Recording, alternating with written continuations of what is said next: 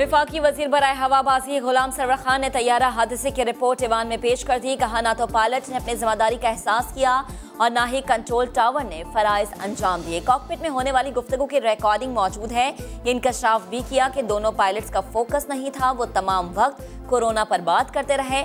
हवाबाजी की सनत किस तरह तबाह हुई, विफाकी वज़ीर ने यह भी बता दिया। बोले पीआईए में मुतद अफराद की डिग्रियाँ ठीक नहीं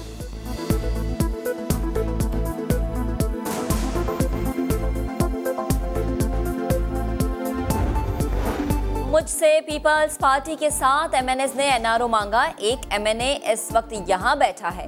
विफाकी वज़ीर मुराद सईद का बड़ा दावा, कहा यहाँ पर मिन्नतें और पीछे साजिशें करते हैं। मेरा सर भी कलम कर दिया जाए, तब भी स्टेटस को का साथ नहीं दूँगा।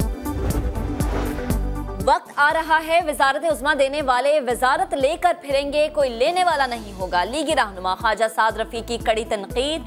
बोले, जो वादे किए गए थे, उनकी तकमील नज़र नहीं आ रही। नब्बे दिन में करप्शन का खात्मा करने के दावेदार एक टका वसूल नहीं कर सके।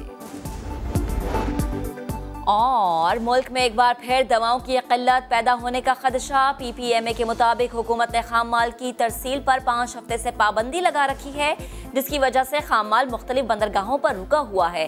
पाबंदी ना हटाई तो दवाओं की किल्लत की जिम्मेदार हुकूमत होगी।